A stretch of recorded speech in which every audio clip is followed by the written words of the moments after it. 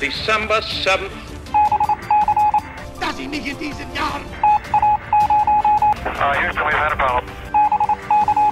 Ma hajnalban a szovjet csapatok I have a dream.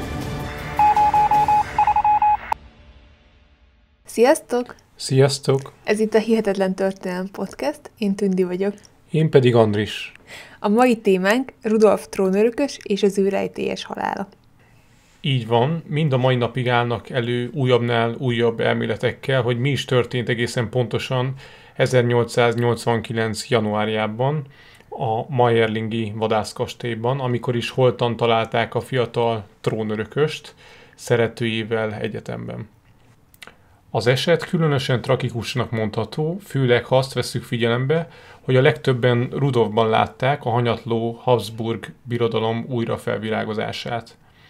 Haladó és liberális gondolkozásával más irányba vihette volna az ország sorsát, ráadásul a magyar köztudatban úgy maradt fent a trónörökös, mint aki édesanyjához hasonlóan különösen magyar barát.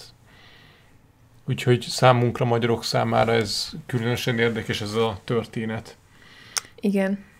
Habár a történelemkönyvek hajlamosak nosztalgikusan pozitívan megemlékezni Rudolfról, mi most megpróbáljuk tényszerűen megvizsgálni, hogy milyen lehetett a trónörökös valójában, és mi vezethetett a tragédiához. Sajnos a vadászkastélyban történt események igencsak homályosak és ellentmondásosak is egyben. Ahány tanú volt, mind másképp emlékezett vissza, de nem is ez a fő gond, hogyha Rudolf halálának a körülményeit vizsgáljuk, hanem az, hogy Ferenc József utasítására, amennyire csak lehetett, megpróbálták eltüntetni minden fennmaradt bizonyítékot. A szemtanúk jó részét pedig busásan megfizették, hogy hallgassanak életük végéig. Viszont ne rohanjunk ennyire előre, nézzük meg, hogy milyen gyerekkora volt az 1858-ban született Rudolfnak, mert ez nagyon sok mindenre kihatása volt a későbbi életében. Valóban nem szeretnénk előre rohanni, itt a gyerekkor kapcsán sem, de azt majd látni fogjátok, hogy azért egy uralkodó gyermekének tényleg nincsen nagyon álomszerű élete. Tehát azt gondolhatnánk, hogy jó, oké, hogyha egy uralkodó családba születsz, akkor biztos sok pénzed van, és azt csinálsz, amit akarsz, ami sok mindenre igaz, de ugye a Habsburg családban azért eléggé poroszos nevelés volt, vagy amit ma poroszos nevelésnek nevezünk, és hát Rudolfnál is ezt a poroszos nevelést alkalmazták. Sisi és Ferenc József több év házasság után már nagyon vágytak egy fiúgyermekre, Ugye két lányuk született korábban, viszont az egyik az elhunyt még ő nagyon fiatalon. Habár házasságuk korai szakasza még boldognak volt mondható, de ez nem tartott sokáig. Ferenc József a teendői mellett nem tudott elég időt feleségével tölteni, reggeltől estig dolgozott a birodalom ügyein, ráadásul az sem segített Erzsébet lelki egyensúlyának megtartásában, hogy első lányuk ugye nagyon hamar elhunyt, csupán két éves volt. Ott volt második lányuk is, viszont az ő nevelését rögtön kivették Sisi irányítása alól, és anyósára, Zsófia hercegnére bízták. Ezt követően anya és lánya el voltak választva teljesen egymástól, és külön be kellett jelentkezni Erzsébetnek, ha a saját gyerekét szerette volna látni. A gyerek a Hofburg másik végében kapott szobát, tehát egy anya számára teljesen megalázó helyzetbe került. Végig kellett vonulni az egész váron, ha saját lányával szeretett volna találkozni. Ráadásul anyósa Zsófia hercegnő nagyon szigorú volt, persze mindezekhez nyilván az is hozzájárult, hogy Erzsébet csupán 16 éves volt házasságuk idején, így szinte még ő is csak gyereknek volt mondható, és az anyósának a szemében ő Szisziben azt látta, hogy ő nem nevelhet gyereket, hiszen még ő is gyerek, úgyhogy még neki is fel kell nőni és fejlődnie kell ahhoz, hogy ő a saját gyerekeit ő nevelhesse. Sziszi anyósa egyébként egyben nagynénye is volt, ami így ugye elég furán hangozhat, viszont ez akkoriban teljesen megszokott volt, mivel a királyi családok gyakran egymás között házasodtak. Sziszi és Ferenc József unokatestvérek voltak, vagyis Sziszi édesanyjának a testvére volt Zsófia hercegnő, aki Ferenc Józsefnek volt az édesanyja.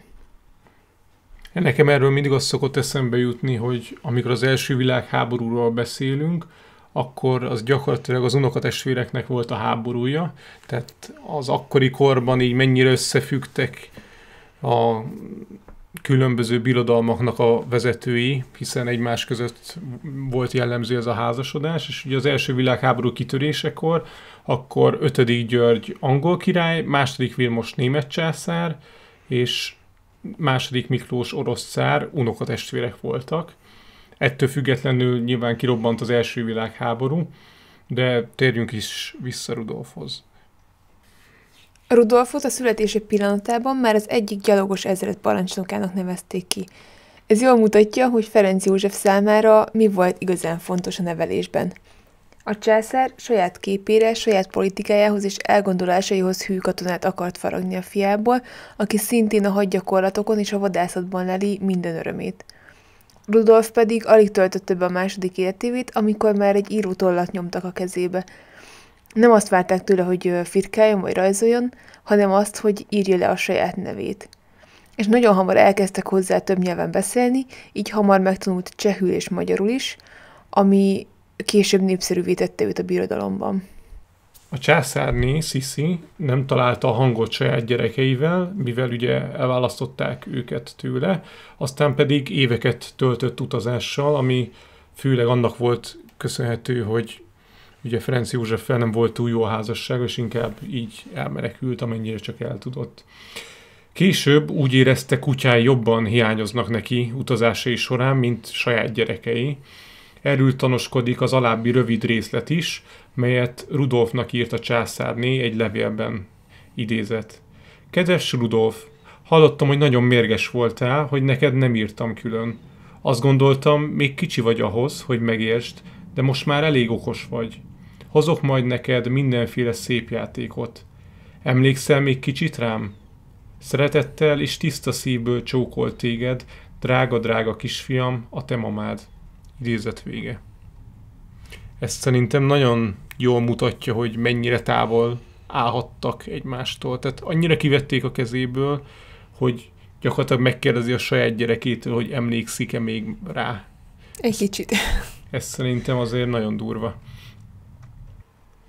A trónörökös hat éves volt, amikor egy szigorú katonát rendelt mellé édesapja nevelőnek. A szadista hajlamú ember gyakran pisztolylövéssel ébresztette a gyereket hajnalban, de volt olyan is, hogy téli hidegben jeges vízzel locsolta le az amúgy is sűrűn betegeskedő Rudolfot, hogy így majd igazán edzetté válik. Ezt egy idő után már Erzsébet sem nézhette tétlenül, úgyhogy ultimátumot küldött saját férjének azzal, hogy ha nem engedi át számára a nevelés irányítását, akkor megszakítja a házastársi kapcsolatot a császárral. Ferenc József ezzel szemben tehetetlen volt, és belement az egyességbe. Tehát innen láthatjuk, hogy ha bár valószínűleg minden meg volt Rudolf hercegnek, azért azért nem volt könnyű gyerekkora, sőt igazából nem is volt igazán gyerekkora. Hát igen, meg én... nem is mondhatjuk, hogy mint a szülei lettek volna. Hát én katonai kiképzés volt a, az élet első pár éve. A trónörökösről hamar kiderült, hogy nagyon éles elmélyű, szenvedélyes és jó, jó a diplomáciai érzéke is. Érdekelték a tudományok és a politika, apja a császár mégsem engedte a politikához közel, ami egy hatalmas hiba egy uralkodó részéről, hogyha méltó utódokat szeretne nevelni. Apa és fiú egyetlen közös témája vadászat volt, mivel Ferenc József nagyon szeretett vadászni. Rudolf sem vetette meg a vadászatot, de nem annyira sportszerűen űzte azt, hanem gyakran tudományos jelleggel. Neves ornitológiai tanulmányokat is írt, sőt közeli barátságot kötött Brémmel is, aki az akkori kor neves zoológusa volt. A híres Állatok világa című könyvében a madarakról szóló részt maga Rudolf is segített összeállítani a tudósnak. Tudományos munkáit olyan szinten elismerték, hogy Pest-Budán a Magyar Tudományos Akadémia tiszteletbeli tagjává választották. De nem csak odaírt cikkeket a trónörökös, hanem éveken keresztül megjelentek cikkei névtelenül kormánykritikus lapokban.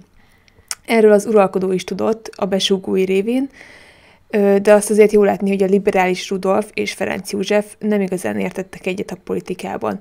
Ezért várták sokan nagy reményekkel, hogy egyszer majd Rudolf is a trónra kerül. Itt olvastam egy nagyon érdekes idézetet Rudolfról, és az egyik barátjának a visszaemlékezésében az egyik vadászaton azt mondta neki Rudolf, hogy ő, ő igazából nem is biztos, hogy szívesen lenne uralkodó, hanem inkább lenne egy köztársasági elnök, ami egy elég érdekes kijelentés egy Habsburg trónörököstől. Rudolf később nagy nőcsábász lett, ha bár ez szerintünk inkább rangjából fakad.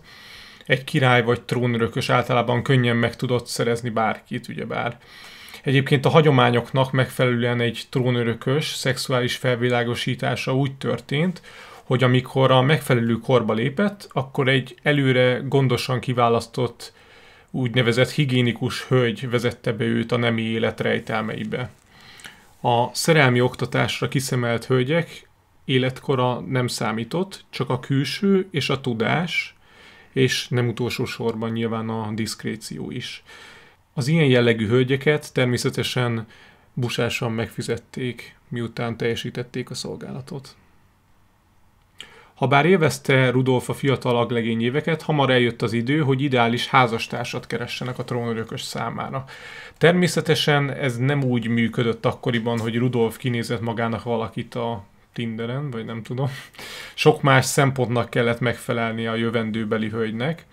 Csak is magas származású lehetett, katolikusnak kellett lennie, és 20 névnél lehetőleg fiatalabbnak. Így esett a választás a belga király lányára, Stefániára. A hivatalos bemutatás Belgiumban történt, és erre az útjára Rudolf magával vitte a szeretőjét is. Ráadásul a belga királynők is túlzással rányított Rudolfra és a szeretőjére, amit Rudolf csak a nagyszerű kommunikációs készségeinek segítségével tudott kimagyarázni. Stefánia és Rudolf házasság az első években jónak bizonyult, később azonban megromlott a kapcsolat.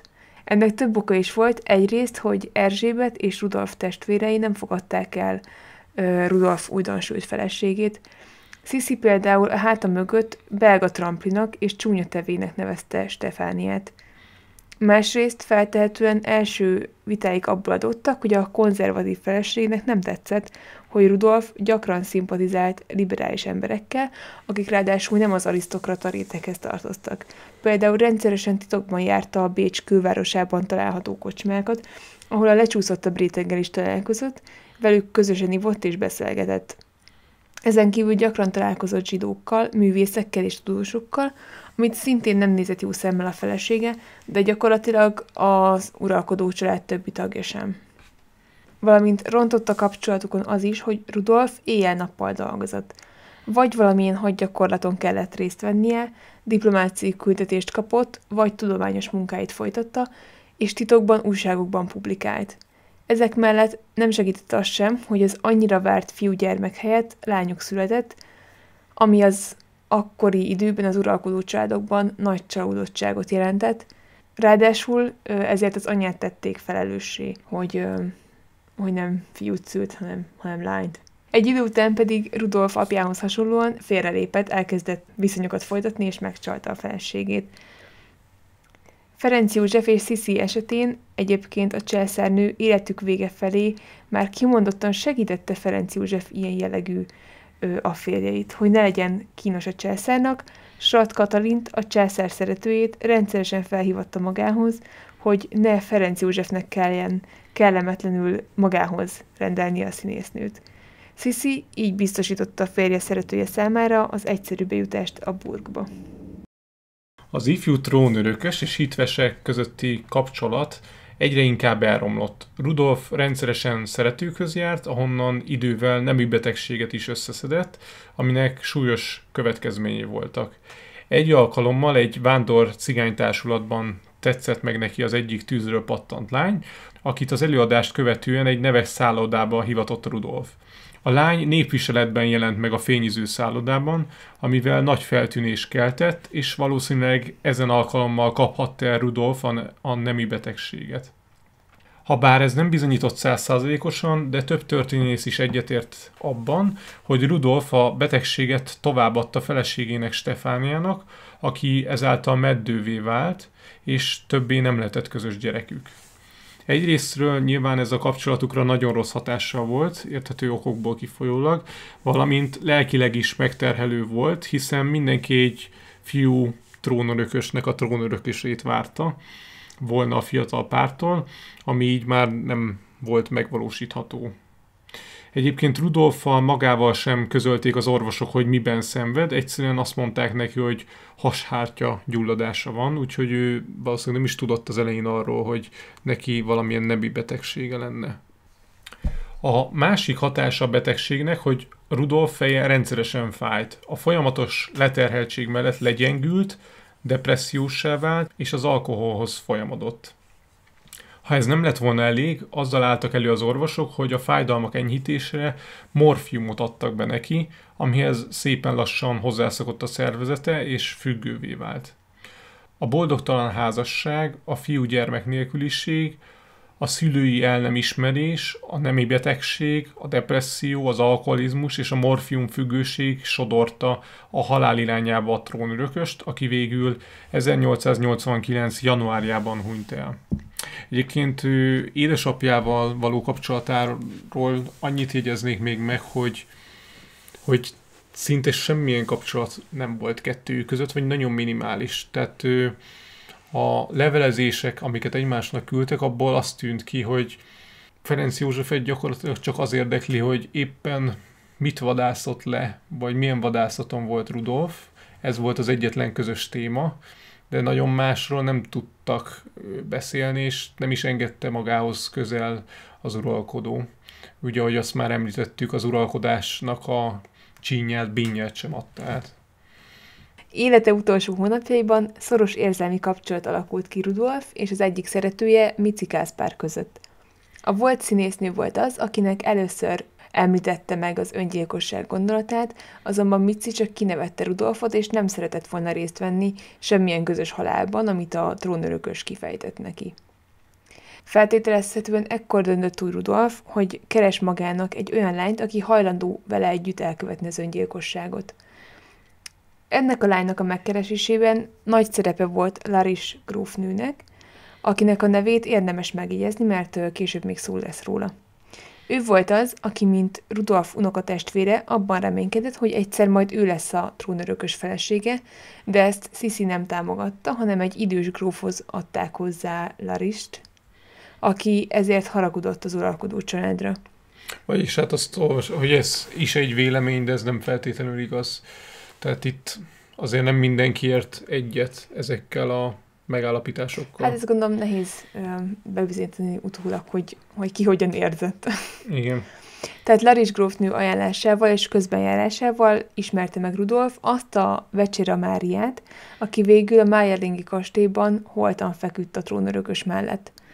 Laris gyakorlatilag a kerítőnő szerepét játszotta ebben a történetben, és eközben ezért a szolgálatért nagy mennyiségű pénzösszeget kért el Rudolftól. Természetesen erről a pénzösszegről sehol nem emlékszik meg visszaemlékezésében, amit pár éve ki is adtak könyvben Magyarországon is, Sisi udvarában címmel.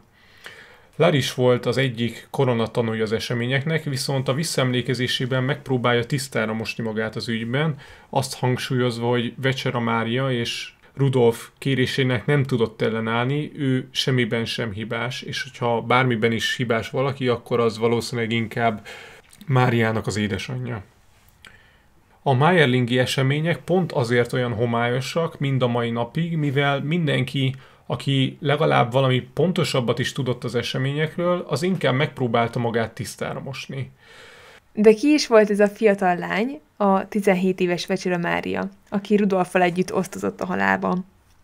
Az édesanyja egy gazdag, nemes családba házasodott be, és ő maga is gazdag családból jött. Ami érdekes egyébként, hogy Vecsira Mária édesanyja tíz évvel Rudolf és hát Mária halála előtt maga is bepróbálkozott Rudolfnál, hogy szeretett volna szerelmi kapcsolatba kerülni az uralkodóval, és ezt annak idején mindenki rossz szemmel nézte, mert nagyon kihívóan viselkedett, és, minden, és mindenhova követte Rudolfot, és személyes ajándékokkal is elhalmozta. És édesanyjához hasonlóan ö, Mária is ö, nagyon szeretett volna szerelmi kapcsolatba kerülni Rudolf, és hát ugye neki így sikerült is, ha bár kérdés, hogy mennyire járt ezzel jól. Az egyik nemes udvarhölgy visszaemlékezése nagyon jól mutatja, milyen fajta rámenős családot kell elképzelni. Idézet. A Baltaci fivérek, a huguk Vecsara bárónő segítségével befurakodtak az udvari társaságba. Nagyon vigyázni kell velük. Okos emberek, mindegyiküknek érdekes és szép a szeme. Feltörekvőek, és én tartok tőlük. A fivérek nagy hódólia sportnak, fantasztikusan lovagolnak, és mindenhová betolakodnak. Idézet vége. Tehát gondolom megoszlott, hogy a udvari körökben mennyire kedvelték őket, de ebből látszódik, hogy azért nem mindenkinek volt szimpatikus ez a család. Vecsire Mária és Rudolf kapcsolata valószínűleg nem lett volna több egy futókalandnál, még akkor sem, hogyha Rudolf teljesen egészséges lett volna. Ugyanis a testi bájain kívül a fiatal lány nem bírt semmilyen vonzóerővel Rudolf számára, nem tudtak érdekes beszélgetéseket folytatni, mert ahhoz túlságosan műveletlen volt, és nem is volt jó hallgatóság, amikor Rudolf a gondjéről beszélt. És talán az is benne volt a pakliban, hogy Rudolf a lányban megoldást látott a szexuális problémáira, mert egy időben szányra kapott az a híresztelés Bécsben, hogy Mici Kászpárral nem mindig sikerült az együttlét. Az ilyen intim dolgokat onnan lehet tudni, hogy Mici gyakran tett rendőrségi jelentéseket a trónörökösről.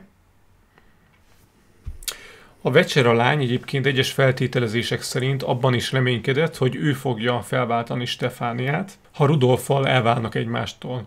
Habár ez hiúábránnak tűnik Mária részéről, de nem kizárt, hogy neki ilyen szándéka is voltak, hogy egyszerű legyen majd a császárné. Kettejük kapcsolat egyébként nem nyúlt vissza olyan régre.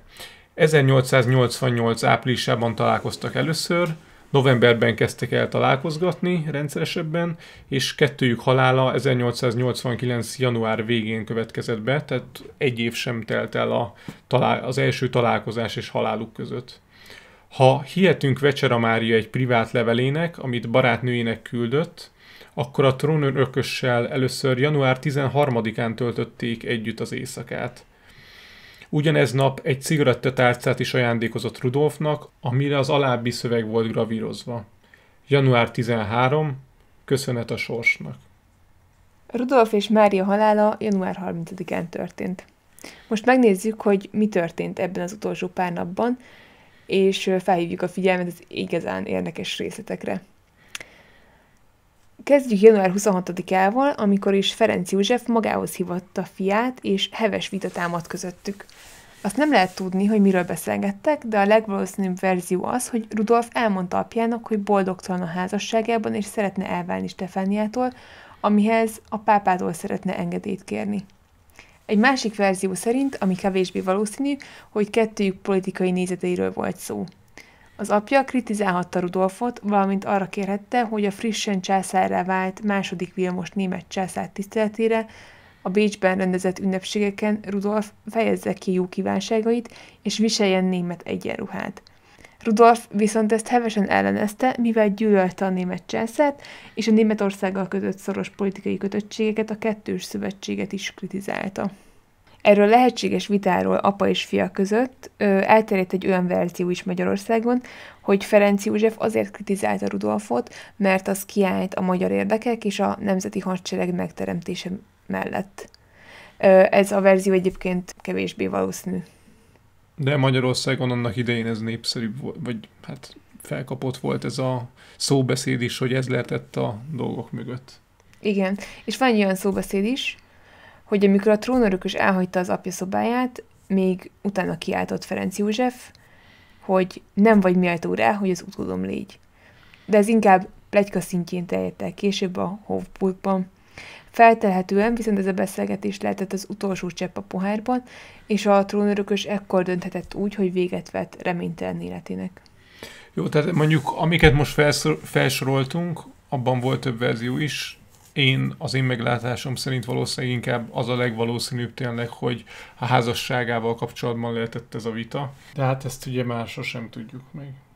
A következő nap Hoyosz grófot és Fülöp Koburgi herceget értesítette Rudolf, hogy az eredetileg február elejére tervezett vadászatot előre hozza és várja őket a Mayerlingi vadászkastélyába. A kastélyt pár évvel korábban vette, nem egy hatalmas kastélyt kell elképzelni, de azért nem is olyan kicsit. Mindenféle kiszolgáló épülettel rendelkezett, és Béstől körülbelül olyan 40 kilométerre található egy kis településen. A levelek megírása után Rudolf megjelent Laris grófnőnél, és egy mind a mai napig rejtélyes, kisméretű kazettát adott át a nőnek, ami egy szövetdarabba volt bevarva. Laris visszaemlékezésében így ír erről az eseményről. Idézet. Veszélyben vagyok. Úgy beszélek most hozzád, mint férfi a férfihez. Te vagy az egyetlen, akiben megbízhatom. Esküdj meg, hogy soha el nem árulod senkinek azt, amit mondani fogok. Esküszöm. Különös pillantással nézett rám, aztán valami kis fekete tárgyat húzott elő katona köpenye alól. Egy szövetburokba varrott kazettát. Önkéntelenül is visszahőköltem, de unoka fívérem a vállamra tette a kezét. Vedd magadhoz ezt a dobozt, és azonnal rejtsd el valami biztos helyre.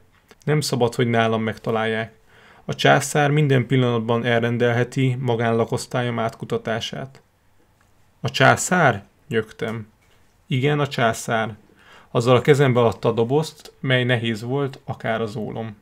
Idézet vége. Tehát Larisnak azt mondta, őrizze meg a kazettát, és csak a megfelelő jelszóval rendelkező egyének adja oda. A jelszó négy betű volt. R-I-U-O. Miért éppen Larisnak adta a kazettát, azt a grófnő sem értette, de Rudolf ezt azzal magyarázta, hogy ha a családtagjaira bízná a tartalmát, akkor az számára a biztos halált jelenteni. A titokzatos kazetta és tartalma sok fejtörésre adott okot azóta is, mert soha többé nem került elő. Mindenfelé a császár megbuktatására vonatkozó terven hozták összefüggésbe, mivel Rudolfnak és unokatestvérének János Szalvátornak voltak elképzelései arról, hogyan működhetne tovább a monarchia Ferenc József császár nélkül.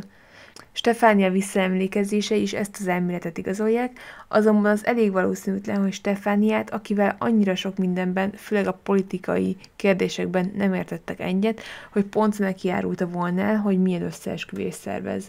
A sokkal valószínűbb, hogy Stefánia valamivel meg akarta magyarázni azt, hogy miért egy ö, idegen nővel lett öngyilkos Rudolf. A kazetta jelszavának lehetséges megfejtésére két elmélet is van – az egyik szerint R, respectable, vagyis tiszteletre méltó, a szabad kőműves pályok előtti megszokott rövidítés. Az IO, az Innere Orient, a legmagasabb rendű beavatottak szűk köre. Az U, mint Ungarn, azaz Magyarország. Vagyis ebből arra lehet következtetni, hogy János Szálvátor és Rudolf is kapcsolatban voltak magyar szabadkőművesekkel. Egy másik lehetséges fordítás viszont így szól. Az R, Rudolf, I, imperátor, U, Ungarn, O, Osterreich, vagyis hát Österreich. Hogyha ez a megfejtés lenne igaz, akkor ö, valóban összeesküvésről lehetett szó, ami miatt Rudolfnak menekülnie kellett. Igen, mert ugye... Hát azt jelenti, hogy tulajdonképpen Rudolf ö, Magyarország és, vagy az osztrák-magyar monarchia uralkodója. Igen. A rejtélyes kazettáért János Szalvator jelentkezett egy éjszakán, nem sokkal Rudolf halála után, de hogy még titokzatosabb legyen az ügy, pár hónappal később lemondott hercegi címéről, János Salvator, minden előjáróságáról, és kilépett a Habsburg családból, majd bő egy évvel később tengerre szállt, és egy viharban nyoma veszett. Ugyanaz nap, amikor átadta Rudolf ezt a titokzatos dobozt, amiről egyébként csak Larisnak a visszaemlékezéseiből tudunk. Tehát még mindig január 27-én Igen. járunk. Akkor este bált rendeztek második Vilmos császár születésnapja alkalmából a német követségen. Az eseménynek volt egy botrányos része is, ami a történetünk szempontjából nem elhanyagolható. Vecsera Mária is ott volt az eseményem, azonban amikor a trónörökösné Stefánia körbejárta a helységet és üdvözölt mindenkit, a hölgyek mindig mély meghajlással üdvözölték őt, azonban Vecsera Mária nem hajolt meg, és kihívóan nézett Stefánia szemébe. Végül az udvariatlan lány, édesanyja az utolsó pillanatban észbe kapott, és térdre rántotta Máriát. Ennek az incidensnek a híre gyorsan elterjedt a bécsi felsőkörökben. Rudolf ezután hevesen veszekedett a feleségével, majd meglátogatta egy barátját, végül pedig az estét Mici Káspárnál töltötte. Egyébként az események, ahogy haladunk előre, nagyon érdekes az, hogy oké, okay, ott van Vecsera Mária, akivel, akiről mindenki beszél, és akivel feltétlenül az öngyilkosságot közösen elkövették. Ennek ellenére két nappal előtte a másik szeretőjénél töltötte az éjszakát. Ebből is látszódik, hogy Vecsera Mária valószínűleg inkább csak egy partner volt számára, aki az öngyilkosságot vállalta, nem pedig egy igazi nő, akivel úgy hát nem hosszabb volt... távú kapcsolatot is el tudott volna képzelni. Vagy ezt lehet, hogy csak én mondom így külsőleg, vagy ezt én ezt vonom le belőle. Hát, de, de nekem ez a benyomásom. Hát igen, mondjuk lehet, hogy január 27-én már nem gondolkodott ilyen hosszú távokban Rudolf. Lehet. Tehát itt már valószínűleg tudta, nem? Hogy mi lesz a szándéka. Hát erről is vitatkoznak a történészek, hogy tudta-e, vagy nem. Arról majd még később beszélünk, hogy, hogy milyen rendelkezéseket hozott még közvetlenül azelőtt, ami előtt meghalt volna. Szóval az is érdekes kérdéseket vet fel. És eljött a másnap, vagyis január 28-a. A reggelt Rudolf úgy kezdte, hogy egy úgynevezett fiók végrendeletet fogalmazott meg, amiben arra kérte az egyik beosztottját, hogy halála esetén a Bécsi irodájában található íróasztalban található négy búcsúlevelet küldje el az illetékeseknek. Az egyik levél a hugának szólt, volt egy levél a feleségének, egy másik Hirsbárónak és egy negyedik Mici Kászpárnak. Továbbá arról is rendelkezett, hogy a Laris grófnővel, illetve Vecsere Máriával folytatott levelezését semmisítsék meg. Ezt követően egy fontos táviratot várt még a szobájában, ami egy idő után meg is érkezett, viszont a tartalma és küldője sosem derült ki. Nem sokkal később megérkezett a trónörököshöz Laris grófnő Vecsere Máriával. Hogyha lehet hinni a visszaemlékezéseknek, akkor még miatt megérkeztek volna, útba ejtettek egy fehér némű boltot is. Laris visszaemlékezésében úgy írt erről, hogy még előző nap bízta meg őt Rudolf, hogy vigye át a lányt másnap Hofburgba. Amikor mindketten ott voltak Rudolfnál, akkor Rudolf arra kérte Larist, hogy menjen ki egy kicsit, mert négy szem közt szeretne valamit megbeszélni Vecsere Máriával. Majd amikor is negyed óra múlva visszatért, akkor azt mondta neki Rudolf, hogy közölje a vecserelány anyjával, hogy Mária elszökött, és már nincs a burgban. Ugye azt mondtuk, hogy Laris grófnő visszaemlékezései igencsak megkérdőjelezhetőek, mert hogy valószínűleg egyébként az ő saját felelősségét szerette volna egy kicsit így elkenni.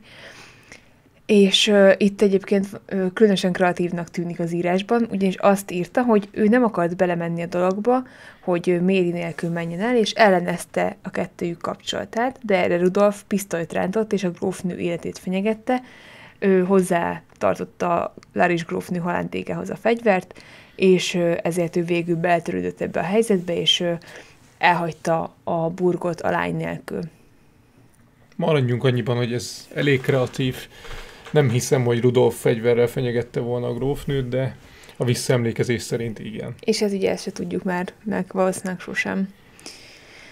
Ugye ezután Laris grófnő elment a vecserákhoz elújságolni, hogy mi van, mi a helyzet, ahol azt mondta, hogy amikor hintóval mentek a városban, akkor a lány egyszer csak kiugrott és eltűnt. Mária édesanyja sejtette, hogy az események mögött valószínűleg a trónörökös állhat, és hogy Rudolfnak van valami köze a dolgokhoz, de egyáltalán nem volt megnyugodva, és főleg amiatt, mert ők találtak egy üzenetet a lánytól, amin ez állt. Idézet. Kedves mama, amikor ezt elolvasod, én már a Dunában leszek. Méri. Idézet vége. Viszont ezt az üzenetet eleinte nem vették túl komolyan. Hát meg így utólag így nem is nagyon értjük, hogy miért írt ezt a Dunásat. Lehet, hogy nem volt megbeszélve, hogy uh, hogyan lesznek öngyilkosok. És lehet, hogy arra gondolt, hogy majd belevetik magukat a Dunába. Lehet, ez is egy opció lehetett, nem? Nem tudom.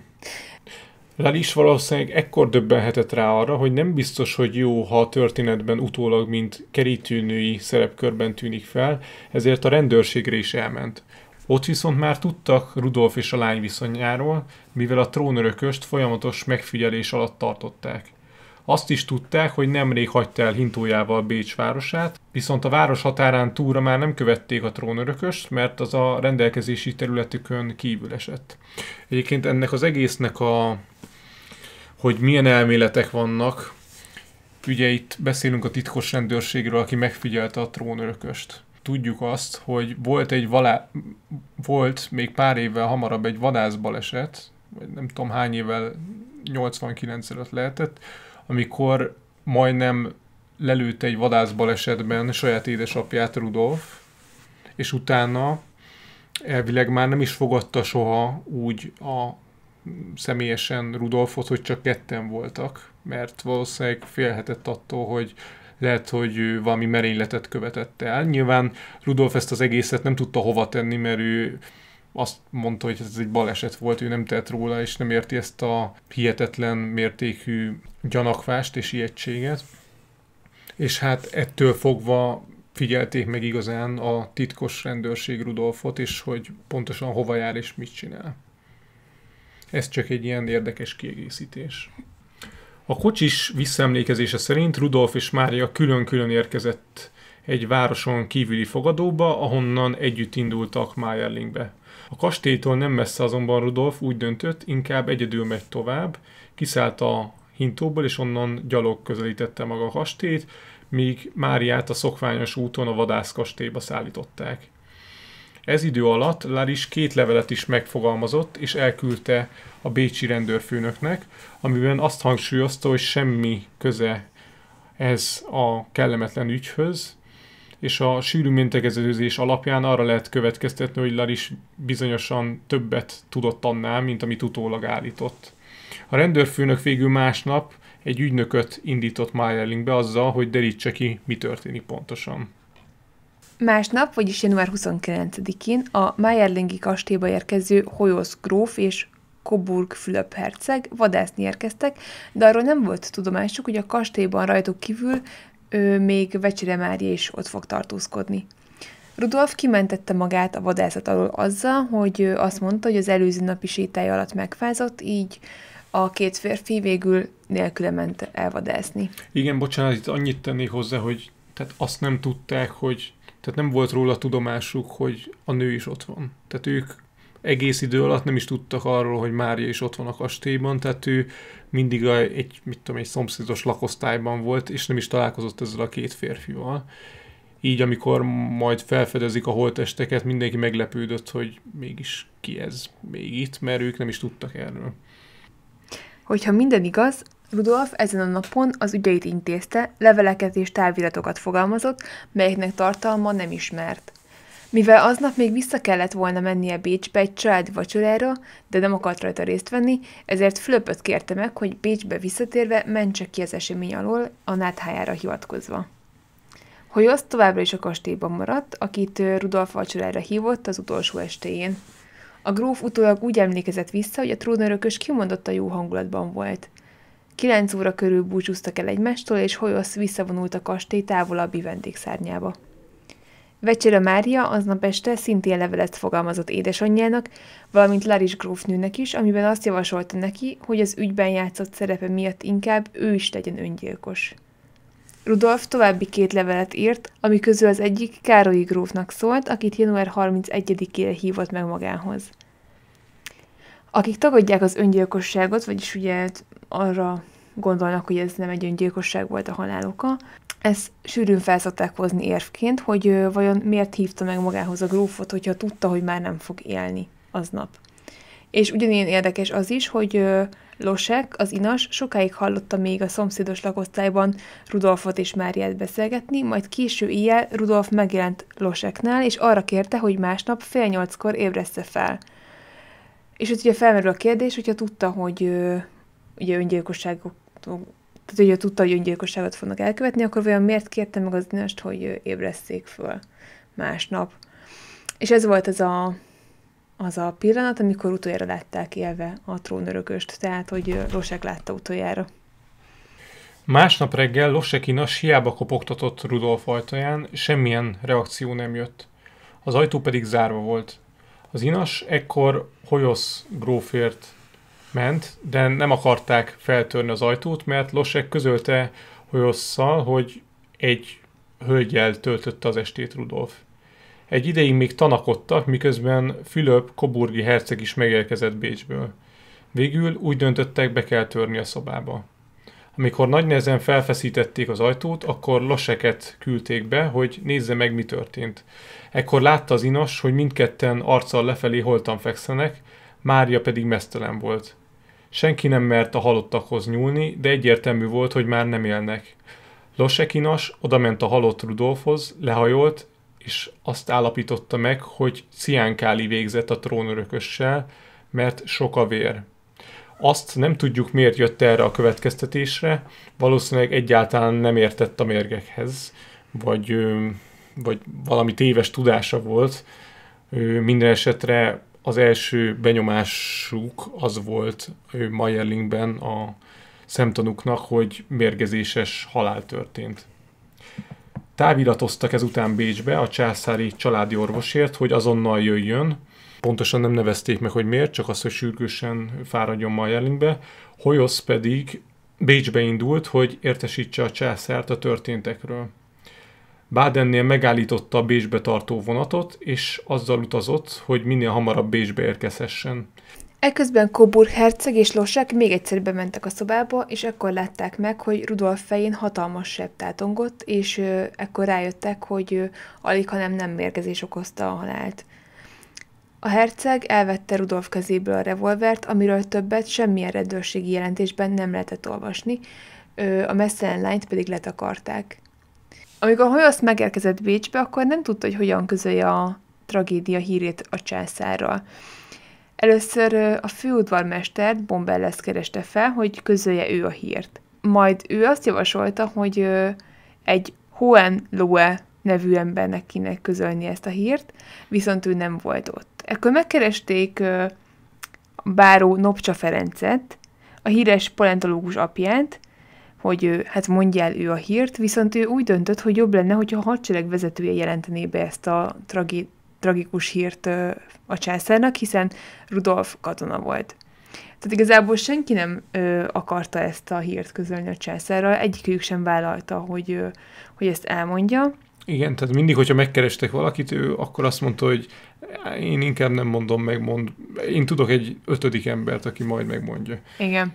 Ami egyébként egy kicsit nagyon fur, vagy hát ennek nyilván volt egy oka, csak hát igazából hogy azt látta, hogy Rudolf tényleg meghalt, úgyhogy nagyon furcsa lett volna, hogy ha valaki úgy állt be Ferenc Józsefhez, hogy hát van egy rossz hírem, a főudvarmester mondta, hogy valaki más mondta, hogy Hoyosz mondta. Tehát ez egy kicsit Igen. ilyen, jó mindegy, ez egyébként nem mondanám komikusnak, mert nem az, csak, csak egy ilyen tényleg érdekes kis mozzanat. Végül senki sem vállalta, hogy közdje a császárral a rossz hírt, hanem végül Nopcsa Ferenc felkereste Erzsébetet, vagyis ugye Sziszit, és neki mondta el először a hírt. Ekkor még nem tudták, hogy ö, valószínűleg ugye fegyver által haltak meg a Rudolfék. Rudolfék, ezért Hoyosz gróf első értesülés alapján azt mondták Sziszinek, hogy ö, mérgezéses halál történt.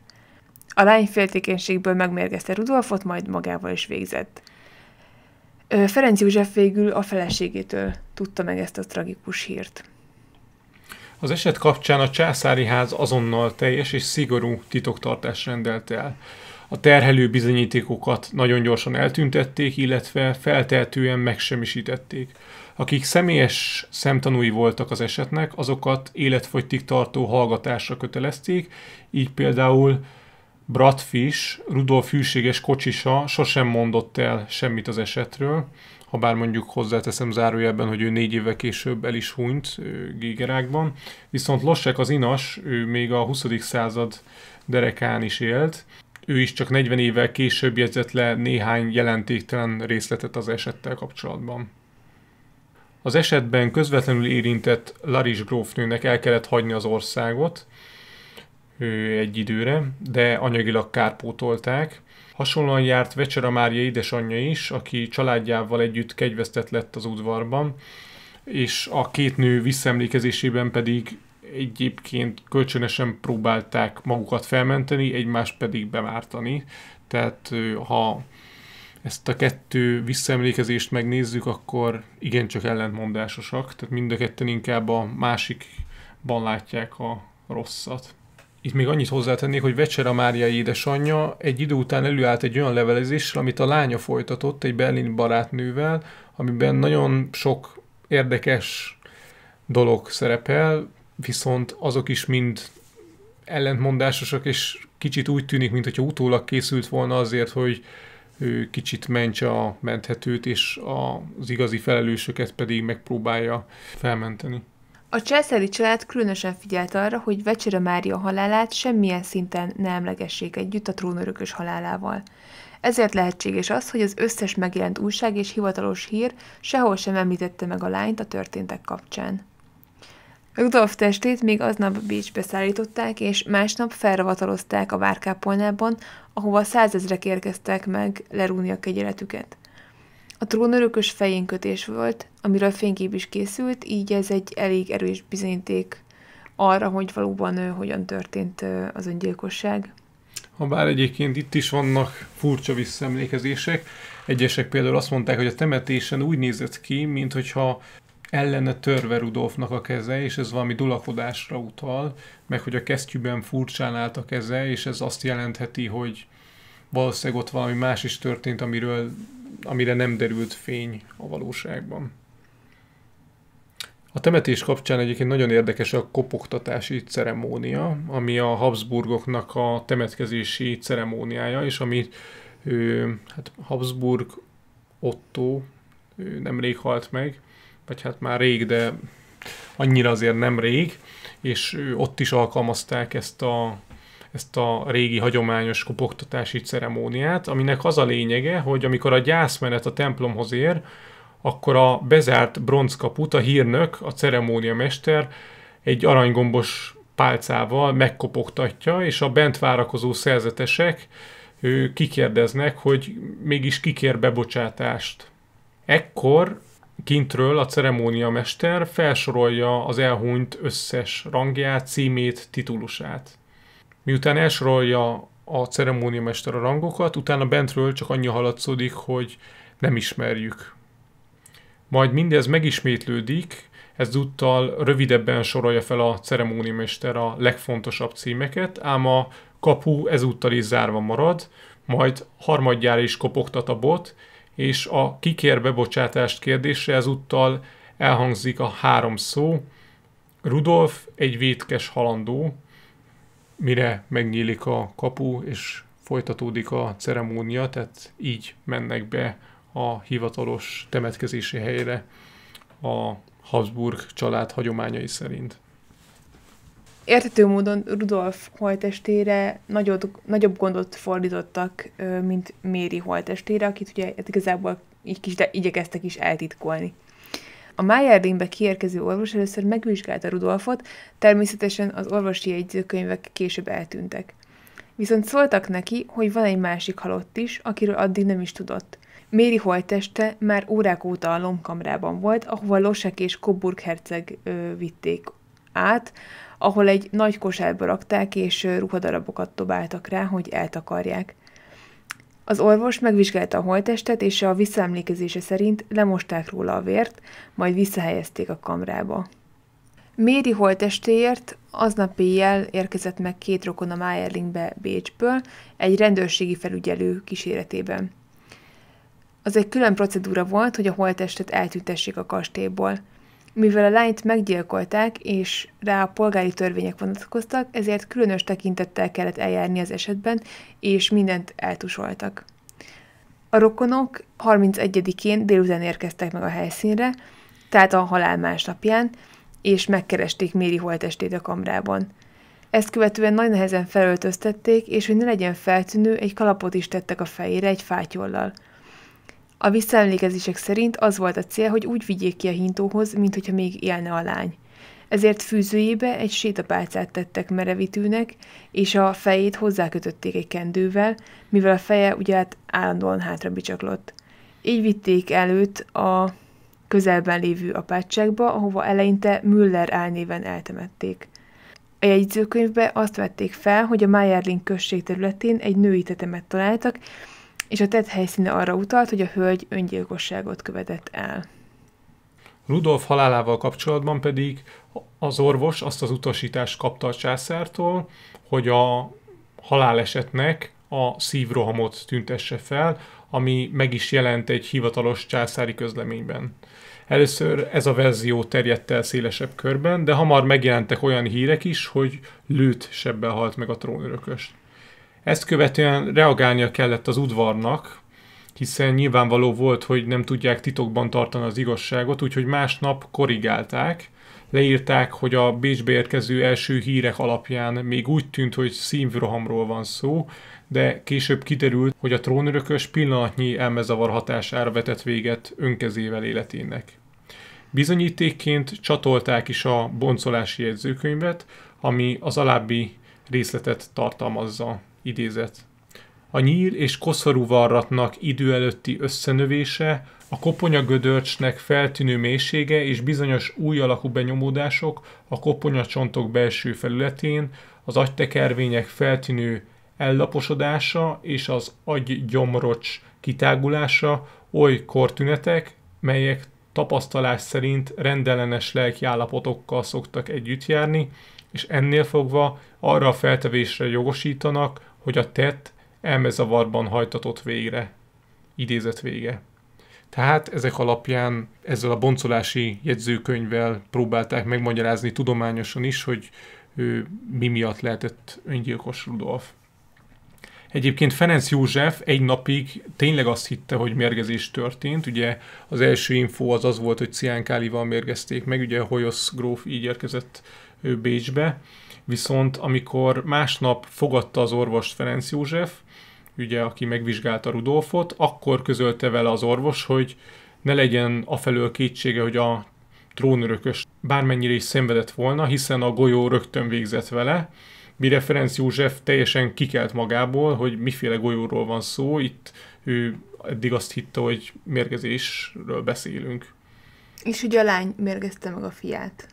Igen. Tehát, hogy itt ő, ő akkor azt tudta, hogy öngyilkosság történt. Igen. hanem ugye tényleg az, hogy a lány féltékeny volt, és megmérgezte Rudolfot, aztán magát is, tehát ugye ez Igen. ebben a hitben élt még ekkor.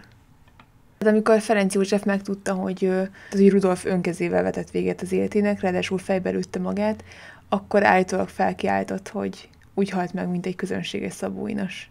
Hát vagy van, van egy ilyen mendemonda. Igen, egyébként nyilván ezért teljesen ö, sokkoló lehetett számára. Még az is, hogy meghalt a fia, de az, hogy ez később egy ilyen még volt egy ilyen csavar a történetben, ez különösen szíven üthette őt. Egyébként a, azt tudjuk, hogy a, a temetésen szinte senki nem vett részt a király, vagy a császári családból, tehát se Erzsébet nem volt ott, se a felesége Stefánia Rudolfnak.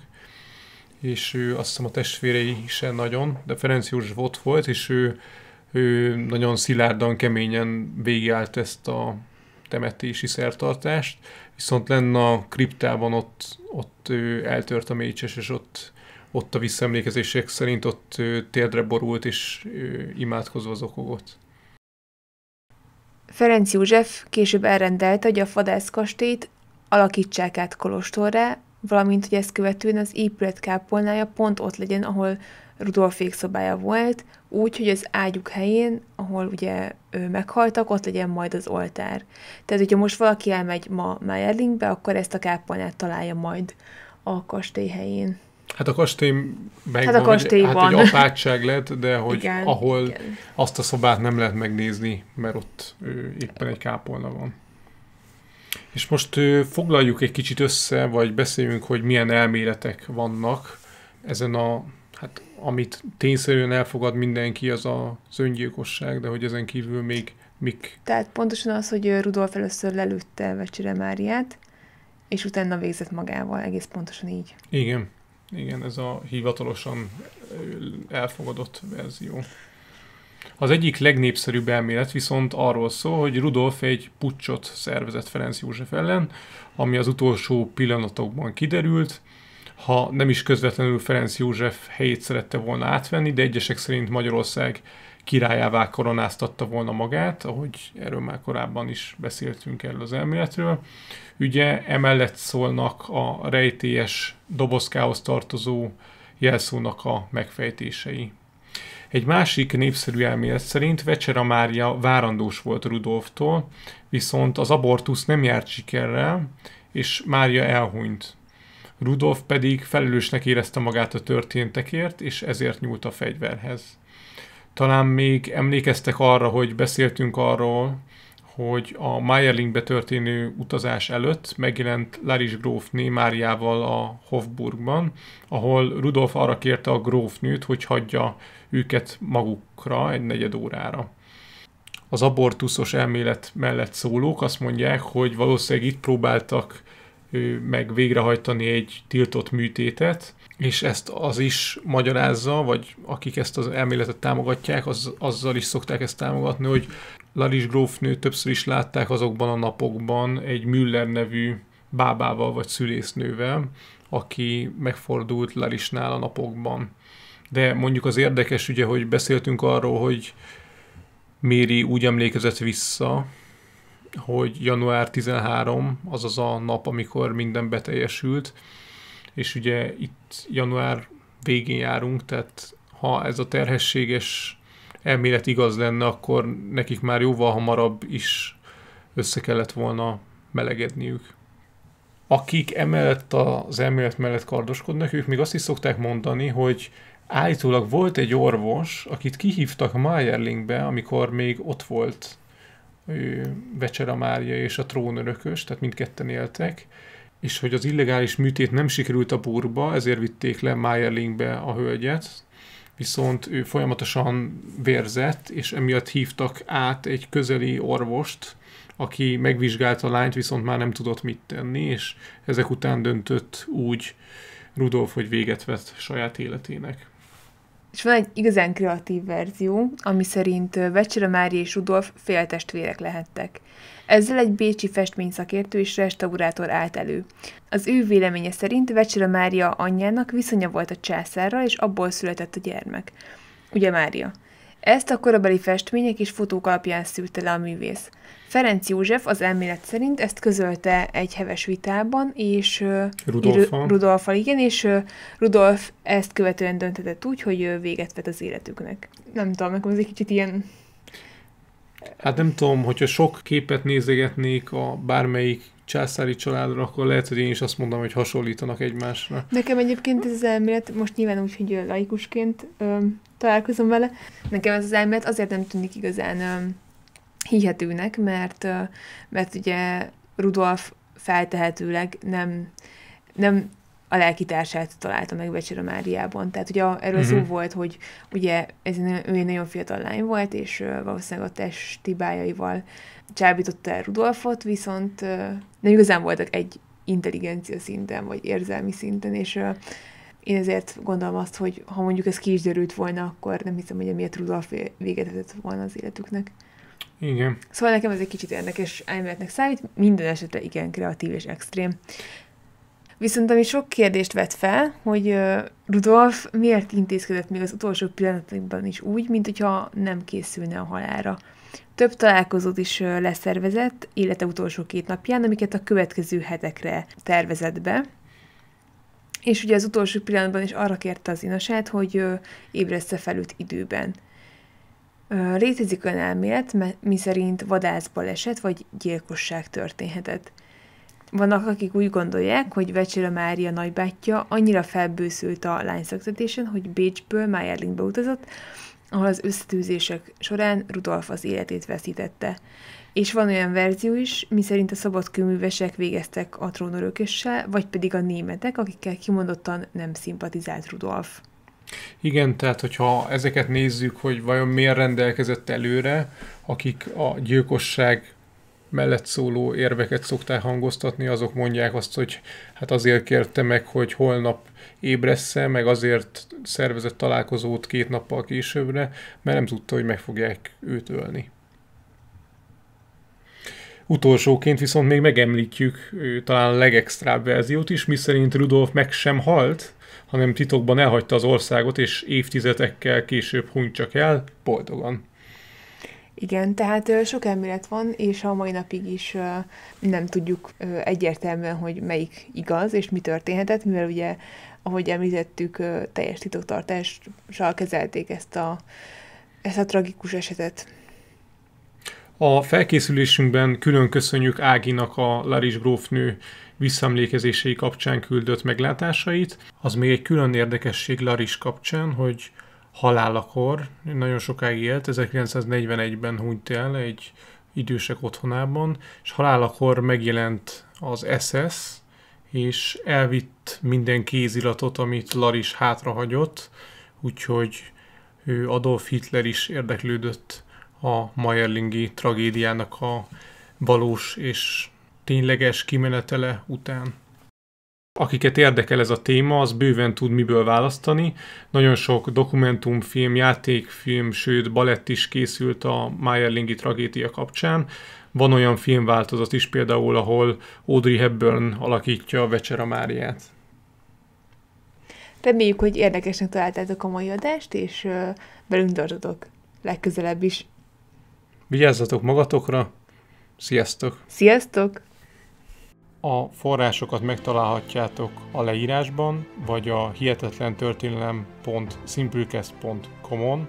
Kövessétek a Facebook oldalunkat is, a Hihetetlen Történelem Podcast Facebook oldalt, ahol három naponta jelentkezünk érdekes villámtörükkel. Örömmel fogadunk e-maileket is a hihetetlen gmail.com e-mail címen, hogyha esetleg kérdésetek, észrevételetek lenne az adással kapcsolatban. A podcastet megtaláljátok az Apple Podcast adatbázisában, Spotify-on, Google Podcasten és még sok más helyen is. Hallgassatok minket máskor is. Sziasztok! Sziasztok!